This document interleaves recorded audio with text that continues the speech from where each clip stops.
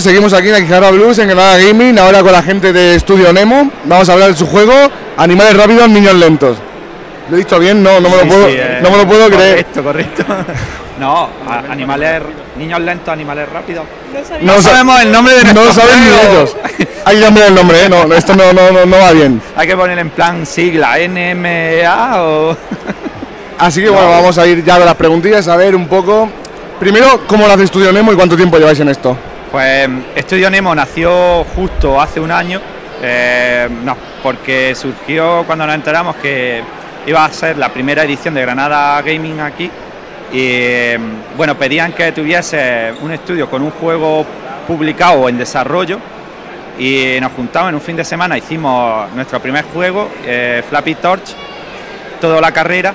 Y, además no, ya lo publicamos incluso en Google, que dio tiempo.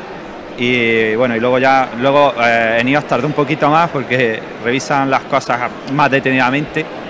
Y bueno, eh, ese fue el germen o la semilla de- del estudio.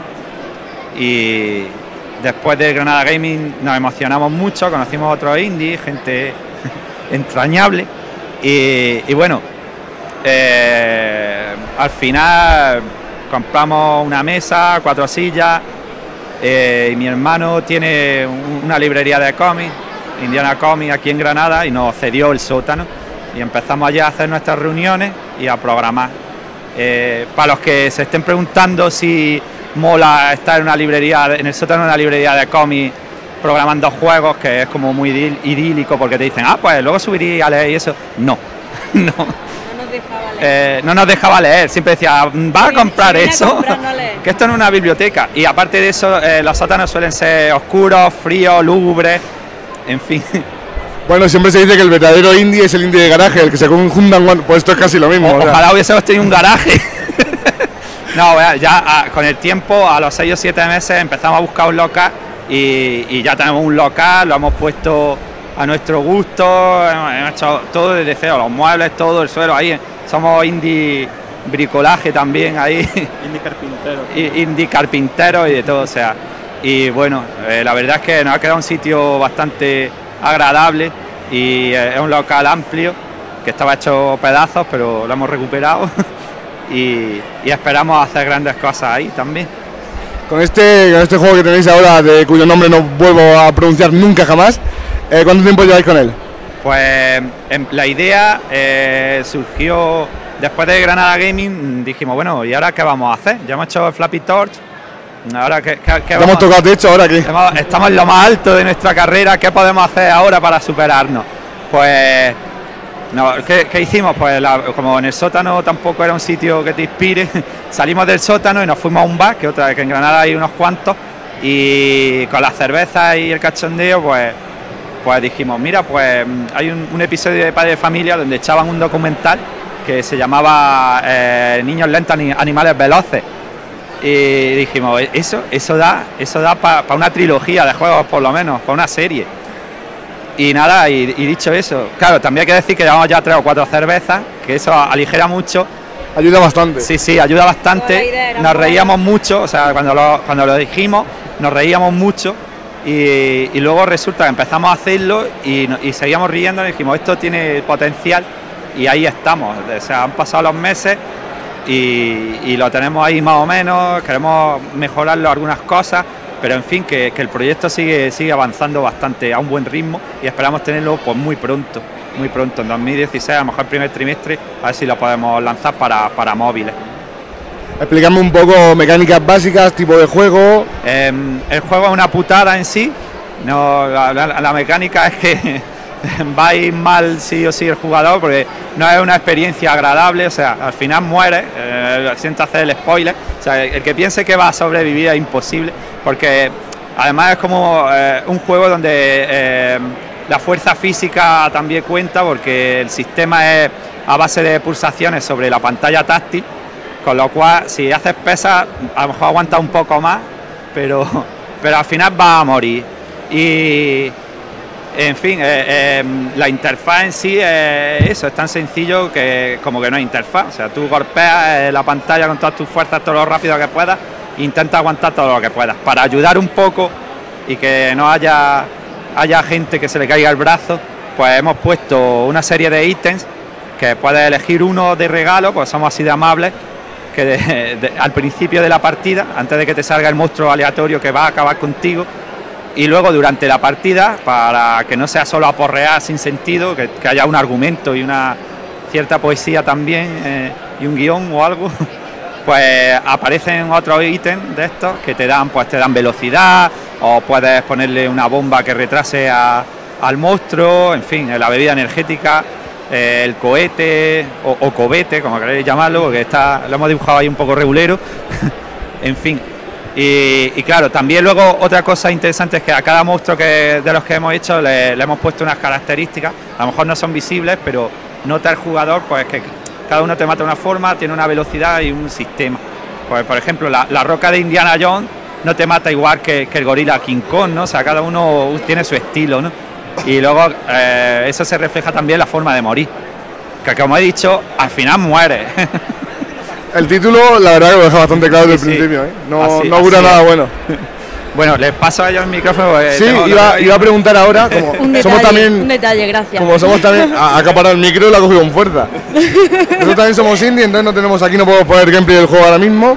Entonces, el arte, tú que eres el artista, explícanos un poco qué tipo de dirección artística habéis elegido para, para el apartado visual. Bueno, hemos elegido algo que llame la atención, tiene unos colores muy marcados. Y de hecho se consigue porque lo primero que dice la gente cuando juega es, ah, me gustan los gráficos. Digo, ¿vale? Menos la roca. es que la roca era a las 3 de la mañana, quería irme a dormir y dije, la llamo y que haga la roca o la hago yo. Entonces, puedo enseñar un pequeño vídeo que se lo hemos, grabado antes. Luego lo pondremos. Ahora en el directo no se ve, pero luego cuando hagamos la entrevista editada se verá que. He amenaza y dentro del estudio. ¿Qué hace, ¿qué hace un programador si no tiene una persona que le guía en un estilo, en un. Cagarla. Sí. Y además está orgulloso. No, hombre, tiene un efecto diferente. La roca que va para adelante y para atrás y a, la, y a la vez te mata. Te mata. A ver, es muy, es muy importante tener una persona que se encargue del arte en un videojuego. La verdad que sí. ¿Qué tipo de modelo de negocio tenéis pensado para el juego? ¿Free to play, pago único, juego completo? Tú eres el que le dinero aquí. lo que más quisiera yo. No, la verdad es que hemos, no lo hemos barajado muy en serio todavía. Hemos pensado, por un lado hemos pensado venderlo simplemente por un precio y ya está pero también hemos planteado poner el juego free to play de forma que el juego en sí sea gratuito y luego los power ups sean de pago o si quieres elegir diferentes modelos para el personaje pagar por ellos, diferentes monstruos, etcétera. Y también la verdad es que también hemos pensado ponerle publicidad. No lo tenemos claro, no tenemos claro cómo monetizarlo porque la verdad es que tiene varias tiene varias opciones y no tenemos claro. También queremos ver la respuesta de la gente. Queremos ver si la gente está dispuesta a pagar un euro por él o o va a ser difícil entrar de esa manera. Tenemos que pensarlo, de momento no, lo tenemos muy definido, ¿no? Seamos realistas, somos indie, no lo hacemos por el dinero, lo hacemos por la gloria, por, la, por amor y la gloria. Los punk de los videojuegos. ¿Qué plataformas tenéis pensado para el lanzamiento?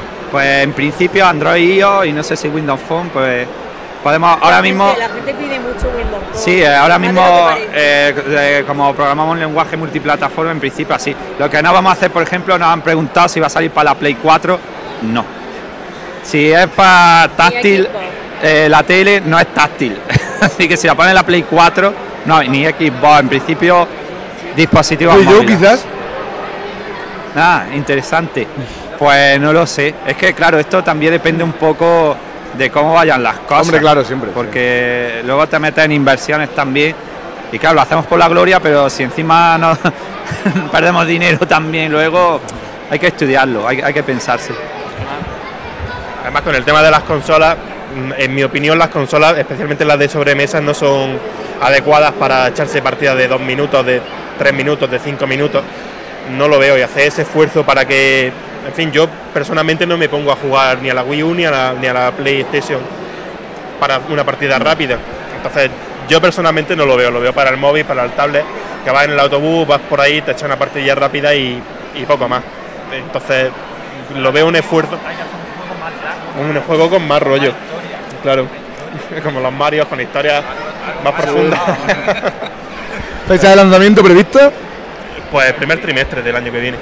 Maravilloso. Ya para ir cerrando, impresiones de la Granada de Gaming, de la organización, ¿os han tratado bien? ¿Os gusta aquí la competencia? O los compañeros, mejor dicho. Sí, la verdad es que en el mundo indie hay mucha hay mucho buen rollo. Cuando acabamos normalmente nos vamos por ahí de, de cerveza. Doy fe. cosas así. No- nos conocemos de otros eventos porque más o menos vamos siendo siempre los mismos y muy buen rollo. Yo la verdad es que el resto de estudios, no sé vosotros, pero yo no los veo como competencia, los veo como gente de la que cogéis ideas, de la que cogéis inspiración y muy bien. Y luego el evento está estupendo. Me, me gusta mucho. distribución está muy bien porque Está perfecto, sí. sí, porque a la entrada están los, la zona indie. Que si se llega a poner al final, la gente no hace ni caso. Entonces Efectivamente. está muy bien, Es está muy acertado al, Además, la puesto gente así. se sorprende también de que haya tantos desarrolladores Sí. españoles, se animan, te preguntan, que es un poco lo que he comentado antes. Eh, eh, nosotros aquí en Granada hemos hecho una asociación que se llama Granada Jam, eh, para, un poco porque viene gente que se dedica a la música, que se dedica eh, a- al arte. Y, y claro, una ciudad universitaria como es Granada tiene mucho potencial y mucha gente que se está interesando con eventos como de este tipo por, por los videojuegos. Entonces hicimos la primera reunión la semana pasada y animamos a que cualquiera que esté interesado en entrar en el mundillo es una asociación sin ánimo de lucro que el valor que tiene es el intercambio de conocimiento y conocer gente y oye, y si salen de ahí algo, pues perfecto. Se llama Granada Jam. Ya sabéis, top para acá. Pues nada, muchas gracias por dedicarnos unos minutillos aquí en el sofá de Quijabara y muchísima suerte con el proyecto. Muchísimas gracias a vosotros.